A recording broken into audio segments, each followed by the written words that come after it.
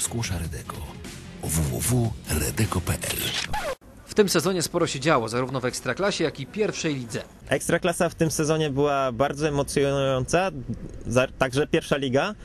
E, Do ostatniej kolejki, do ostatniego dnia e, były otwarte sprawa mistrzostwa. W ostatniej kolejce właśnie Fidasz z Mateko walczyli e, o mistrzostwo. Fidasz zremisował w ostatniej sekundzie i dzięki temu zdobył mistrzostwo i zdetronizował Mateko, które jest schodzącym mistrzem.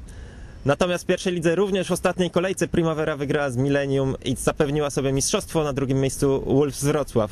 Najlepsi w Ekstraklasie i pierwszej lidze zostali nagrodzeni. Wyjątkowo w tym sezonie przyznana została jedna dodatkowa nagroda, która ostatnio była przyznana 5 lat temu. Odkryciem sezonu okrzyknięty został zespół The Crazy Gang. Beniaminek Ekstraklasy to on otrzymał to wyjątkowe wyróżnienie. Największą niespodzianką sezonu był The Crazy Gang. Dostali również nagrodę odkrycia sezonu. E, W tabeli Ekstraklasy zostali na piątym miejscu, utrzymali się w Ekstraklasie. E, Natomiast również niespodzianką było, że dotarli aż do finału Pucharu Ligi i tam również powalczyli i niestety zajęli trzecie miejsce. Ale bardzo dzielnie walczyli z, również z Mateko i z Fidaszem. To teraz trochę o najlepszych indywidualnie. Wśród najlepszych piłkarzy należałoby wyróżnić przede wszystkim Damiana Mikołajczyka w Ekstraklasie. E, Był również blisko zdobycia korony króla strzelców. Na samym końcu, na finiszu Marcin Michalkiewicz z Fidasza zdobył więcej bramek e, i wyprzedził Damiana.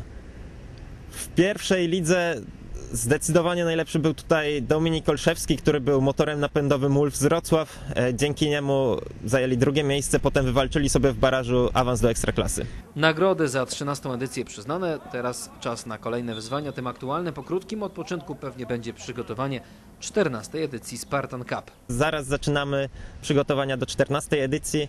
W sierpniu ruszają zapisy, od września zaczynamy pierwsze mecze. Szczegóły dotyczące 14 edycji tej minionej na stronie organizatora.